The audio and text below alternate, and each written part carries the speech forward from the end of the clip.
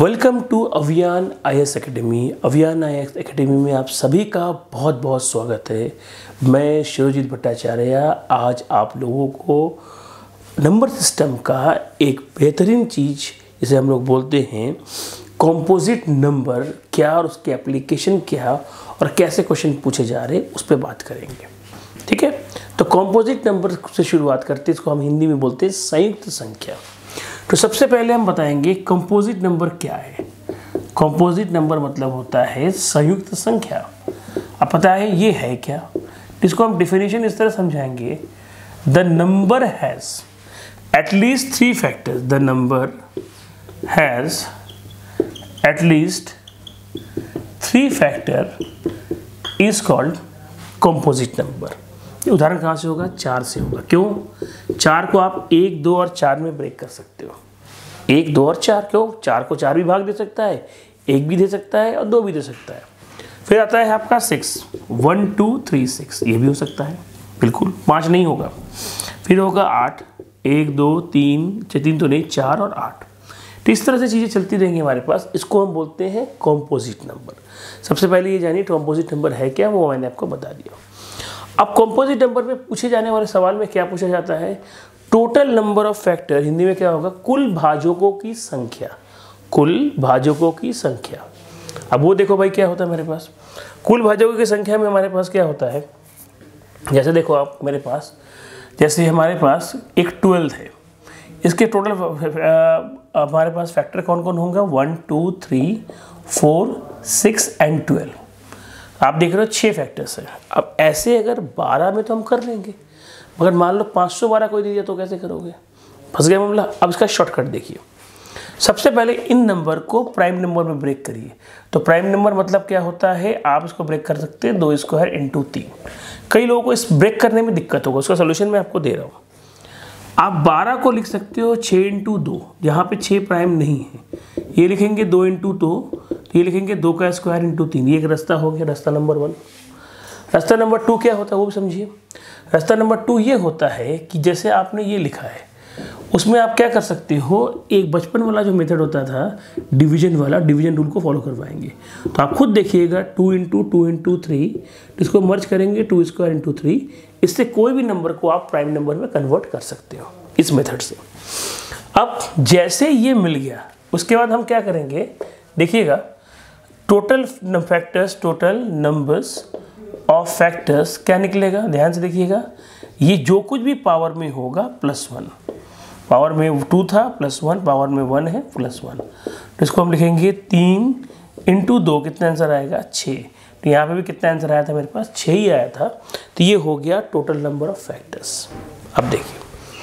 अब एक उदाहरण आपके सामने मैं और लेता हूँ। 36 के कितने फैक्टर्स होंगे वो समझिए। तो 36 के मैं लिख देता हूँ। एक, दो, तीन, चार छ नौ, बारह अट्ठारह और छत्तीस।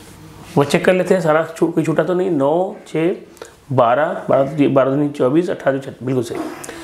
तीन तीन छः तीन, नौ। नौ फैक्टर्स आए। ब्रेक कैसे करेंगे? बहुत इजी है। छः इंटू छः कर लो या ये वाला रास्ता फॉलो कराओ। तो दो का स्क्वायर सॉरी दो इंटू तीन पहले अच्छे से लिख लेते हैं, फिर जल्दीबाजी नहीं करेंगे। दो का स्क्वायर इंटू क्या लिखेंगे? तीन का स्क्वायर अब बात किसकी हो रही है? Total number of factors total number of factors तो क्या आएगा? टू प्लस वन और three two plus one again two plus one हमने क्या लिखा? दो बार लिखा हमने टू प्लस वन तो कितना आएगा? तीन इंटू तीन। आंसर कितना आपको मिल गया? नाइन ये हो गया टोटल नंबर ऑफ़ फैक्टर निकालने का तरीका। अब अगर कोई जनरलाइज रास्ता दिखा दो, जिसको आपको याद रहे, अगर ये कन्फ्यूज़न करता है तो उसका जवाब भी देख लीजिए। अगर हम मानते हैं सी एक कॉम्पोजिट नंबर है, ठीक, उसको हम ब्रेक कर सकते हैं ऐसे। ठीक तो number of factors total number of factors क्या आएगा? M plus one N plus one R plus one ये आर है, याद रखिएगा। डॉट डॉट डॉट डॉट ये भी डॉट डॉट डॉट चलेगा। ठीक? जहाँ सी क्या है? Composite number A B C prime number और एम एन आर ये क्या होता है? इंटीजर क्या होता है? इंटीजर जैसे हम लोग हिंदी में बोलेंगे पूर्णांक प्राइम नंबर मतलब होता है अभाज्य संख्या। सी मतलब होता है कॉम्पोजिट संख्या, इसको हम क्या बोलेंगे? कॉम्पोजिट नंबर को हम क्या बोलेंगे? हमारे पास कॉम्पोजिट नंबर मतलब होता है संयुक्त संख्या। तो ये फॉर्मूला बोलो, चाहे टेक्निक बोलो, इसके थ्रू आप निकाल सकते हो। यही कार्रवाई मैंने आगे भी यहाँ पे किया था। ये है आज का शॉर्टकट ठीक है? तो आप इसके साथ एक छोटा सा चीज़ मैं आपको और बताना चाहूँगा, वो भी देख लीजिए। क्या है? वो देखिए जरा सा। अगर किसी ने ये पूछ लिया कि कॉम्पोजिट में इवन फैक्टर कितने होंगे ऑड फैक्टर वो भी देखते हैं। जैसे मान लीजिए आपके पास एक नंबर है बारह। एक, दो, तीन, चार छः और बारह। इसके ऑड कितने हैं सर ए और दो। दो ऑड है। इवन कितने होंगे? हमारे पास चार इवन होंगे।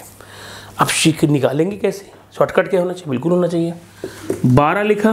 पहले प्राइम में ब्रेक करो। दो इंटू दो का स्क्वायर चार इंटू तीन, या इस तरह निकाल लो। ऑड के लिए हमेशा क्या करेंगे? ऑड वाला हिस्सा लेंगे। ठीक? और इसका टोटल वाला रूल लगाएँगे। क्या होगा? वन प्लस वन कितना आ गया? दो। तो ऑड के लिए हमने क्या किया? सीधा हमने क्या किया? हमारे पास ऑड वाला हिस्से को अलग किया और पावर को जोड़ दिया। एक और नंबर देखिए, साठ है। साठ कैसे ब्रेक होगा? दो का स्क्वायर तीन गुने पाँच। यहाँ पे दो हमारे पास ऑड है। तो हमने क्या किया? दोनों ऑड को एक साथ ले लिया और हमने क्या किया? क्या बोला आपको? पावर को ऐड करिए। तो ये टोटल ऑड वैल्यू हमारे पास आएगी।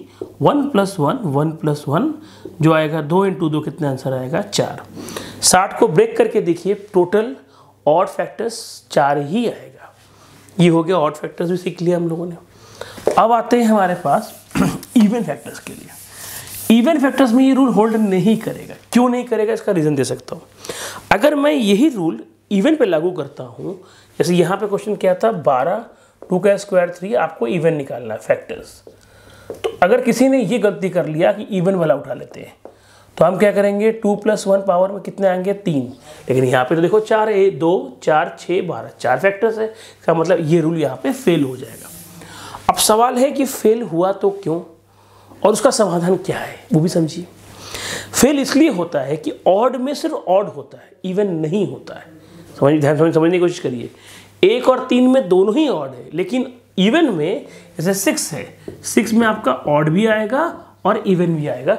इसलिए ये काम इस पर होल्ड नहीं करेगा। तो क्या हम इसका आंसर निकाल नहीं सकते? बिल्कुल निकाल सकते हैं। इसका भी शॉर्टकट है देखिए हमेशा देखिएगा इवन जब भी होगा टोटल से ऑड को माइनस कर लीजिए। क्यों? टोटल में ऑड एंड इवन दोनों होता है। तो इवन के लिए इवन के लिए मेरा ये रास्ता काम नहीं कर रहा है। तो हमने क्या किया? टोटल के लिए हमारे पास टोटल माइनस ऑड कर लिया। अब हम देखेंगे टोटल कितना था? बारह का। बारह क्या? टोटल भी यहाँ निकाल लेते हैं फटाफट। टू प्लस वन और ये वन प्लस वन। कितना आएगा? तीन और दो कितना आएगा? छः छः हो गया टोटल ऑड कितना था मेरे पास? बारह का? तो हमारे पास बारह का कितना ऑड था? दो। टोटल ऑड तो छः माइनस दो कितना आंसर आ गया? चार। तो जब भी इवन निकालना है, हमेशा क्या करेंगे? टोटल में से किसको माइनस कर देंगे? टोटल में से माइनस कर देंगे। ऑड को हमारा काम बन जाएगा। तो आज हमने क्या सीखा? कॉम्पोजिट नंबर क्या था? उसके टोटल फैक्टर्स कितने होते हैं, उसके इवन फैक्टर्स क्या होते हैं, और ऑड फैक्टर्स क्या होते हैं, और कैसे उसके शॉर्टकट तरीके से निकालते हैं। ठीक है? ये आपके लिए आज हमारा था। आगे ऐसे वीडियोस हमारे यहाँ आते रहिएगा। आप हमारे चैनल को लाइक करिए सब्सक्राइब करिए, ज़्यादा से ज़्यादा शेयर करिए। और कमेंट में भी लिखिए आपको वीडियो कैसा लगा, और आपको वीडियो की किस तरह की डिमांड है सी सेट में तो मैं वो सारा उस तरह के वीडियोस आपको प्रोवाइड करूँगा। इंक्लूडिंग कोशिश ये भी करूँगा कि आने वाले टाइम में ओल्ड जो पेपर है, उसके क्वेश्चन भी यहाँ पे ही सॉल्व करूँगा। शॉर्टकट ट्रिक के साथ। इसी के साथ आज का वीडियो समाप्त करता हूँ। Thank you